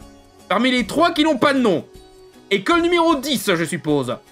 Elle s'en bat les reins, cette meuf, en fait. Non, et puis, t'imagines toutes ces nationalités, certaines qui sont très remontées les unes contre les autres, après des décennies de guerre et de colonisation, réunies en un seul endroit. Ce serait comme faire une seule école pour tout le Moyen-Orient, où tu forcerais des sorciers palestiniens et israéliens à vivre ensemble elle est où déjà l'école numéro 11 Et même au niveau des noms, elle a été ultra fainéante. Genre par exemple, l'école de magie sud-américaine. Encore une fois, tout le continent, une école. hein. Eh bien, elle s'appelle Castelo Brucho. En portugais, Castelo ça veut dire château et Brucho veut dire sorcier. Ce qui ne veut absolument pas dire que c'est un château de sorciers. Non, non. Conjugué comme elle l'a fait, ça fait que le château lui-même est un sorcier. Bonjour, chers élèves Aujourd'hui, je vais vous apprendre à ouvrir vos pont-levis Comment ça, vous n'avez pas de pont-levis Elle s'est contentée de mettre deux mots sur Google Trad et de les fusionner, c'est ça? Non, je suis sûr qu'une grande autrice comme J.K. Rowling ne se réduirait pas à ça, voyons. Hmm, En plus, l'école sud-américaine, c'est même pas un château, c'est un temple. Un temple mésoaméricain précolombien. Ouais, ouais. École qui, soi-disant, est là depuis des milliers d'années. Et pourtant, elle a un nom ibérique. Il y a des centaines d'autres soucis dans le genre, que ce soit la façon dont elle décrit les personnages féminins maléfiques en leur donnant une apparence masculine comme un menton protubérant ou des grandes mains, ou pire, un duvet sous le nez. Ou le fait qu'Harry est techniquement riche, mais qu'on le verra jamais prêter de l'argent à son meilleur ami pauvre en besoin de nouvelles baguettes, ou même pour offrir des cadeaux de Noël à son entourage. Parce que J.K. tente quand même de le faire passer pour Cendrillon, possiblement pour attirer la sympathie des lecteurs. Et tout ça parce que malgré tous ses efforts pour créer un monde riche et progressiste, eh ben J.K. Rowling peut pas faire autrement que mettre sa vision politique. Alors je ne dis pas que J.K. Rowling est d'extrême droite. Bon, elle commence à faire copain-copain avec certains mecs d'extrême droite, oui, mais ce que je veux dire, c'est que Harry Potter n'est pas d'extrême droite. Voilà. Le problème, c'est surtout que l'histoire d'Harry Potter propose un univers avec une société qui présente énormément de problèmes qui ne seront jamais remis en question.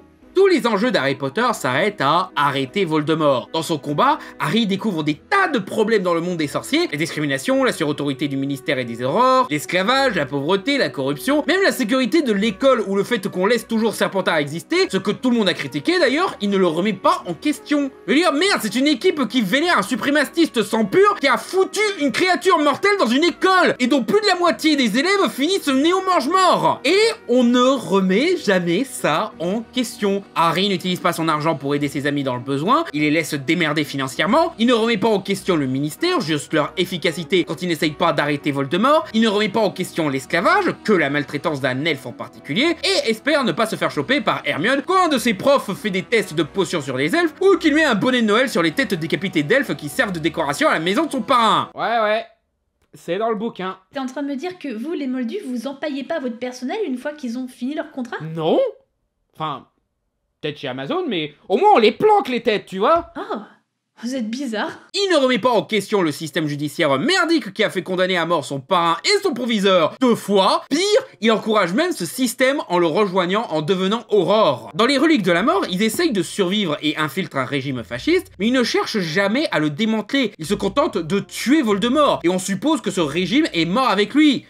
Mais on peut parler du fait qu'ils sont allés bien trop vite dans le régime fasciste Genre, tu vas me faire croire qu'il n'y a pas plus de la moitié du ministère qui voudrait garder ce régime là après la mort de Voldemort dans Star Wars, au moins, la mort de l'empereur, ça a pas mis fin à l'Empire, c'est resté pendant des dizaines d'années, hein. T'es sûr de vouloir servir le ministère qui a viré fasciste deux fois en deux ans seulement? C'est pas que Voldemort, là Clairement, beaucoup de gens ici veulent ça Mais dans cette histoire, le problème du fascisme n'est pas que c'est liberticide, intolérant ou immoral, non, non, non C'est que ça change le système. Le système était parfait de base, ce sont juste quelques connards qui font de la merde et exagèrent. J.K. Rowling est politiquement une centriste néolibérale.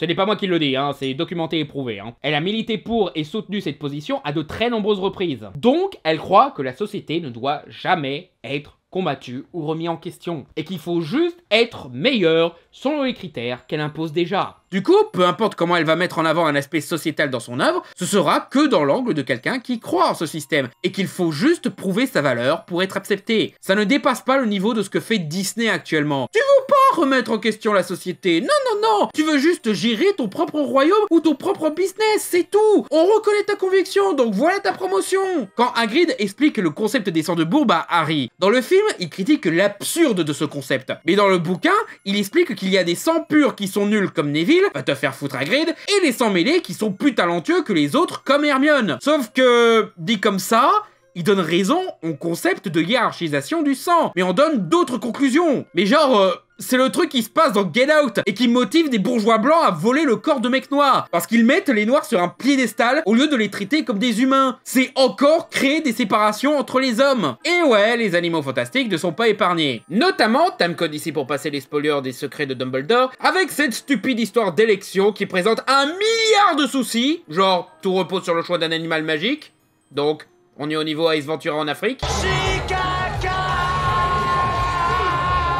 et où un criminel mondial peut, en l'espace de deux jours seulement, être disculpé de tous les crimes malgré des tas de témoignages et preuves à travers le monde contre lui, juste parce qu'un seul ministre l'a décidé, se présenter à l'élection, devenir ultra populaire alors que son seul programme est faire la guerre contre les moldus, et même gagner en trichant aisément. C'est le pire système électoral de tous les temps et on voit à quel point le monde des sorciers est assoiffé du sang des moldus, mais c'est pas grave car une femme a gagné l'élection à la fin, donc tous les problèmes sont réglés apparemment mais bien sûr, et élire Barack Obama a mis fin au racisme. Le coup de la baguette de Jacob, je disais tout à l'heure qu'on pouvait le voir comme une transition métaphorique, mais pour ce qu'on en sait, ça peut être aussi une impasse. Genre, au lieu de montrer la valeur de Jacob en tant que simple moldu, on le conforme aux autres magiciens pour qu'il serve à quelque chose. Et du coup, ça amène d'autres questions, genre, si ce moldu peut utiliser une baguette magique, pourquoi on donne pas des baguettes magiques à d'autres moldus et pourquoi on n'accepte pas les moldus dans le monde magique? Parce qu'à l'époque d'Harry Potter, les moldus, ils ont toujours pas le droit d'aller à Poudlard, hein Je veux dire, c'est cool de mettre un commentaire social dans tes films, mais t'es obligé de mettre tous ceux qui remettent en question la politique discriminatoire des sorciers du côté des méchants?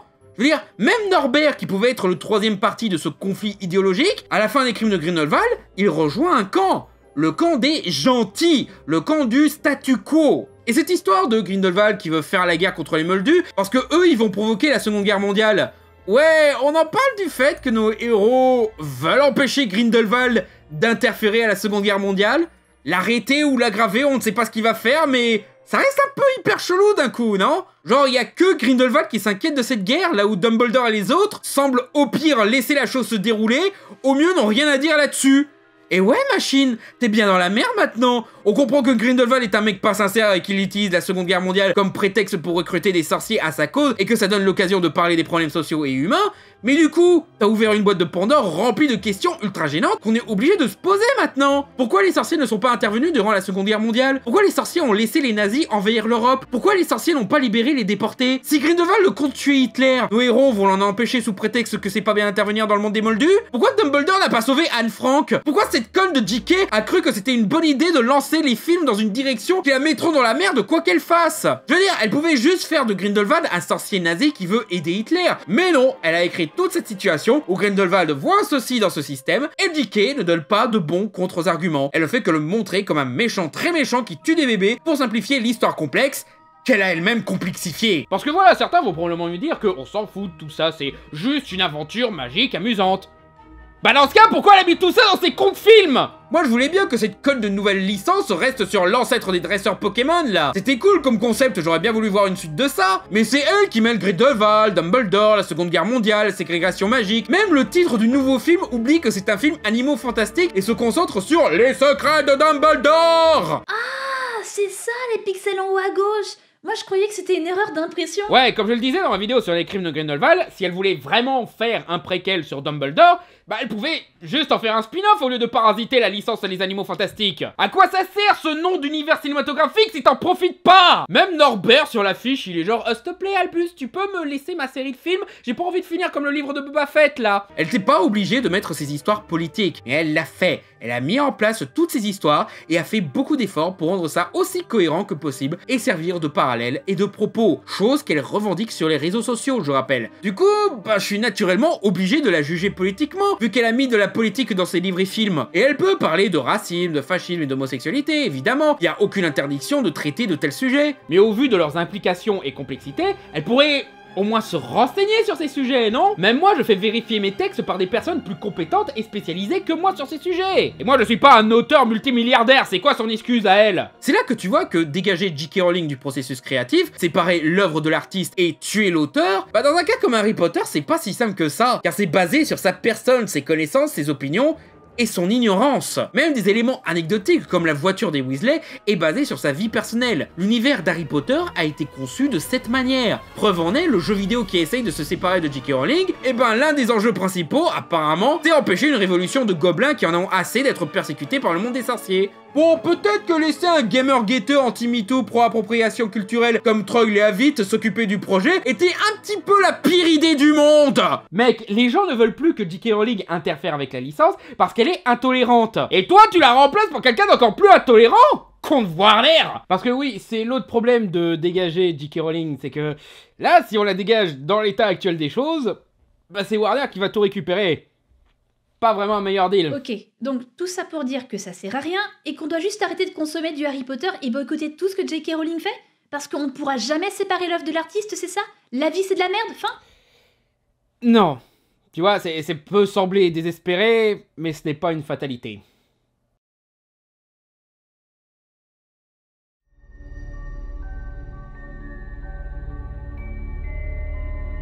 Le problème de J.K. Rowling, croyez-le ou non, ce n'est pas que J.K. Rowling. Évitons de faire la même connerie qu'elle et de résumer un problème complexe à une seule personne et dénonçons le vrai problème qui est plus systémique.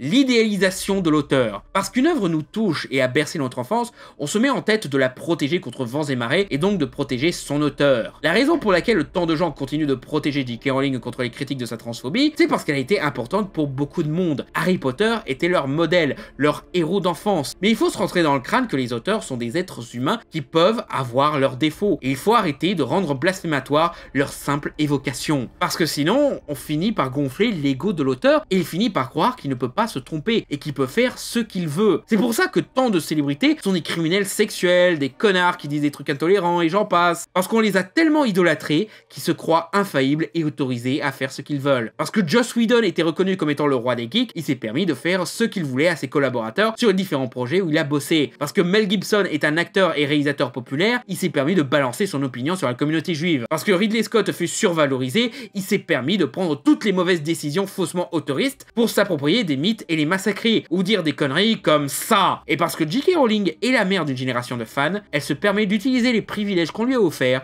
pour imposer sa loi et sa vision du monde sur les personnes trans.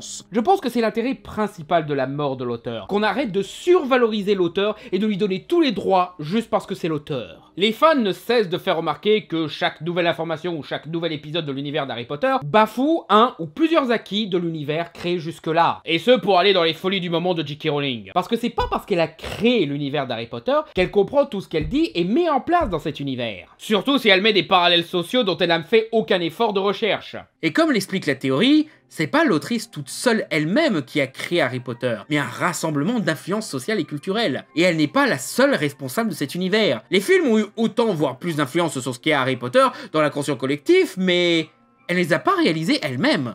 Elle a écrit les bouquins d'origine et produit les films pour s'assurer que son œuvre soit respectée, oui, mais malgré tout, les réalisateurs, scénaristes, le format film et bien d'autres éléments changent ce qui compose ces films, et donc influent sur son sens. Pas mal des événements des bouquins qui aggravent la vision ultra-conformiste de JK sont supprimés ou remplacés, comme je l'ai expliqué. Le renvoi cruel d'une prof jugée incompétente, y compris par la narration du livre, est changé par un moment dramatique où une pauvre dame qui ne fait rien de mal se fait chasser de sa seule maison. L'appel à la liberté de Dobby est plus grisant quand on ne rappelle pas que les autres elfes aiment être des esclaves et que c'est juste lui qui bizarre. Le combat anti-système de l'ordre du Phénix marche mieux quand t'as pas 150 sous-scénarios imposant l'idée que le statu quo doit pas être remis en question. La grossophobie pose moins problème quand on n'a plus les descriptions dégueulasses de JK. Oh, et une scène supprimée des reliques de la mort où les Dursley montrent enfin un minimum d'humanité. Du coup, même si c'est subtil, ces adaptations ont plus ou moins un petit peu tué l'auteur, non? Et c'est sans parler des fans qui ont bien sûr leur propre vision de l'univers d'Harry Potter, qui ont soutenu JK pour lui permettre de concrétiser la vision que l'on connaît. Et comme je le disais, beaucoup y voient le message anti-système pro-diversité que JK prétend mettre en avant mais sans être gêné par ses imperfections rendant la morale branlante. En essence, Harry Potter est souvent vu comme l'histoire d'un enfant incompris à qui on a donné l'occasion de révéler son véritable potentiel et de se trouver sa propre famille qui s'est créée lui-même. Un enfant né dans un univers froid, fade et restrictif qui s'épanouit dans un monde plus vaste, riche et extraordinaire. Encore une fois, beaucoup peuvent y assimiler un coming out, se trouver leur propre communauté, etc. Ou moins spécifiquement, Beaucoup d'enfants qui se sentaient pris de haut ou bridés par les adultes se sont beaucoup retrouvés dans la figure d'enfants puissants, courageux et quasi autonomes. Ça parle à toute une génération cet univers. Et c'est encore mieux quand les fans commencent à apporter leur pierre à l'édifice à travers des courts-métrages, des fanfictions et d'autres. Chose que J.K. Rowling approuve en plus de ça. Que son œuvre dépasse sa simple personne, devienne un truc générationnel où tout le monde peut participer. Ce qui met une ambiance de conflit chaque fois qu'elle abuse de son statut d'autrice pour rajouter des trucs et des parallèles qui font du révisionnisme sur sa création. Mais voilà, elle a ouvert les portes de Poudlard. Maintenant, c'est aux fans de s'amuser. Comme le dit ce grand sage philosophique du nom de Jean-Claude Van Damme, Le type qui a construit la tour de Pise, la plupart des gens ne savent pas son nom, parce que son œuvre est plus connue que lui. Son œuvre l'a dépassé. Il a donc réussi sa vie. parce que c'est l'ordre naturel que l'auteur meurt, mais l'œuvre survit. Personne ne débat sur l'intention de Bob Kane quand on regarde The Batman. Personne ne s'intéresse à ce que penserait Rob Cohen quand on va voir Fast and Furious 9. Personne ne parle de Gardner Fox ou Michael Sokowski quand on idolâtre le Justice League de Zack Snyder ou qu'on défonce celui de Joss Whedon. Les noms de Marianne C. Cooper, Ernest B. Schoedsack ou Dishiro Honda ne viennent pas dans les discussions sur Godzilla vs Kong. Tout le monde s'en fout du mec qui a raconté le premier mythe du roi Arthur quand Camelot premier volet sort. Il y a des petits malins qui aiment me rappeler que H.P. Lovecraft était raciste, mais ça n'empêche pas Lovecraft Country d'exister. Encore mieux, qui est le premier con à avoir parlé de ce fameux prof qui suranalyse une chaise bleue? Oh putain oui. À force d'être raconté par des tas d'autres artistes et transmis de génération en génération, qu'est-ce que ça importe de savoir ce que l'auteur original voulait raconter dans ces œuvres-là pour les apprécier? Est-ce que finalement, on sentirait pas l'intention de l'auteur et la mort de l'auteur quand ça nous arrange Je vais vous raconter une histoire que j'aime beaucoup. Voyez-vous, à Poudlard, dans la tour de Gryffondor, dans le dortoir des filles, il y a un escalier qui permet d'y accéder et qui se transforme en toboggan dès qu'un garçon essaye de le monter. Mais une jeune fille trans qui vient de rejoindre Gryffondor s'apprête à le monter. D'abord, elle a peur de ce qui pourrait se passer, mais finalement, elle commence à monter l'escalier, puis petit à petit, encore un petit peu, et encore un petit peu, et à la fin, elle arrive au bout de l'escalier. Rien ne s'est passé. Et là, elle murmure Je le savais. N'est-ce pas magnifique Bon alors je suis pas sûr de l'origine de cette histoire, j'ai fait mes recherches, et tout ce que j'ai retrouvé c'est un britannique qui adore faire des fanfics qui avait fait un post euh, expliquant vite fait le concept. Ça vient peut-être d'une fanfic un peu plus complète et mieux écrite que ça, mais voilà, c'est tout ce que j'ai retrouvé pour l'instant. Si quelqu'un sait d'où ça vient, n'hésitez pas, les commentaires ils sont là pour ça. Mais cela étant dit, vous trouvez pas ça génial? N'est-ce pas une belle histoire encourageante qui permet d'effacer ne serait-ce qu'un tout petit peu la transphobie de l'autrice et de l'univers d'Harry Potter? C'est une histoire encourageante pour les fans trans de cet univers, et encore mieux, ça respecte le lore Ça respecte même l'intention de l'autrice, vu qu'elle voulait justement créer une histoire progressiste et ouverte à la création des fans J.K. Rowling a fait son œuvre, mais maintenant qu'elle est terminée, elle est aux lecteurs et lectrices. Eh, c'est même grâce aux lecteurs qu'elle a pu finir son œuvre et continuer ses films. L'argent et la popularité qu'elle utilise pour ses saloperies transphobes, c'est aux fans qu'elle le doit. Elle trahit les fans en utilisant ce qu'ils leur ont apporté pour faire des discours de haine et supprimer les droits à des gens qui ne font rien de mal. Certains qui sont eux-mêmes fans d'ailleurs. Elle trahit aussi les réalisateurs, scénaristes, acteurs, producteurs et équipes techniques qui bossent sur ces films parce qu'ils veulent donner vie à une bonne histoire et importante pour toute une génération en les embarquant dans sa politique les rendant victimes du boycott de fans mécontents, juste parce qu'elle a privilégié son intolérance à leur travail et dévotion. Pour moi, les histoires sont comme des enfants. Quand elles viennent à naître et sont en train de se développer, c'est normal que les parents s'en occupent. Lui disent quoi faire, ne pas faire, quoi manger, etc. Mais l'histoire évolue, surtout vis-à-vis des interactions avec son environnement, son cercle d'amis, et vient un moment où l'histoire devient adulte et décide d'être ce qu'elle veut être en prenant en compte ce qu'elle a appris de sa famille et de son environnement. C'est naturel que l'auteur meure. Mais il ne faut pas l'assassiner pour forcer l'histoire à se conformer à nos désirs et notre ego. Au mieux, protéger une histoire qui appelle à plus d'évolution et sortir du cercle liberticide de la protection parentale. Mais pas envoyer chier l'auteur juste parce qu'une de ses décisions artistiques n'arrange pas notre vision parfaite ou notre névrose. Donc, doit-on tuer l'auteur dans le cas d'Harry Potter? Eh ben, je sais pas. C'est tout le problème d'une réflexion philosophique. Il n'y a pas de réponse claire. Il y a de bonnes raisons de laisser l'œuvre à l'auteur parce que du coup, on reste en alerte sur ce que l'œuvre raconte indirectement. On arrive à l'étudier au lieu de l'ignorer. Tout comme il y a de bonnes raisons de laisser l'œuvre aux fans qui semblent mieux comprendre cet univers et lui apporter ce dont il a besoin. C'est pour ça que ce débat continue 70 ans plus tard. Cette vidéo ne sert pas à vous dire ce que vous devez penser sur ce sujet, mais montre mon opinion sur cette question, ainsi que les outils nécessaires pour que vous puissiez tirer votre propre conclusion. Et que la suprématie de l'autrice n'est qu'une question de temps et de contexte. Et que ce sera aux générations de fans à venir que reviendra la tâche de veiller sur cette histoire et d'apporter ce que ce monde de fiction a besoin. C'est à ta génération de protéger ce monde de magie. Vous vous foutez de ma gueule? C'est à moi de sauver ce monde de magie?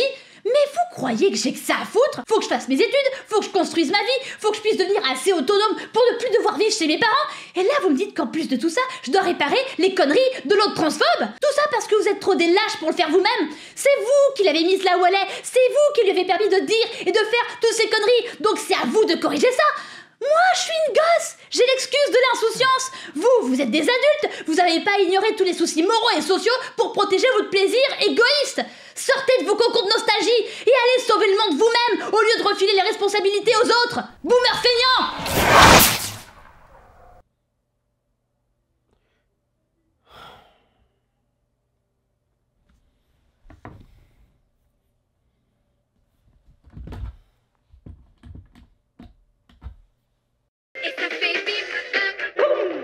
Allô? Ouais, euh, salut Minerva, euh, tu pourrais donner genre 500 points à Cerdaigle ou quelque chose comme ça? Euh. Peut-être, mais pourquoi? Crois-moi, ils ont une élève qui le mérite. Ouais. Vous préférez pas plutôt parler de Freaks Out ou de Sonic 2 D'ailleurs, Sonic, lui, au moins, il est pas transphobe, hein N'est-ce pas? Merci d'avoir regardé cette vidéo, j'espère qu'elle vous a plu. N'hésitez pas à liker, commenter, partager, vous abonner, cliquer sur la cloche pour être notifié d'une prochaine vidéo. Et je vous donne rendez-vous à la Paris Fan Festival les 7 et 8 mai à la Paris Event Center, où j'y serai en dédicace, en vente de produits dérivés, et surtout avec un Fermela live sur scène ayant pour thème le film live Fullmetal Alchemist. Samedi à 18h15. Venez nombreux, venez cosplayer, et pour les plus joueurs d'entre vous, la convention propose un concours pour avoir des places gratuites. Il vous suffit de liker le compte Facebook, Twitter ou Insta de la convention et de dire en commentaire quelle activité vous ferait le plus plaisir de visiter parmi ceux proposés durant cette convention. Oui, vous avez le droit de dire une autre que la mienne, évidemment. Et je viendrai demander les mails des gagnants pour qu'ils reçoivent leur invitation. Et si vous voulez soutenir l'émission, vous pouvez déposer un don soit sur mon Utip, soit sur mon Patreon, avec des contreparties comme l'accès à mon Discord privé où vous aurez des infos et exclusivités sur l'avancée de mes vidéos, ainsi que des goodies comme des badges, des t-shirts, des mugs, des posters et j'en passe. Merci encore d'avoir regardé cette vidéo et à sur Fermez-la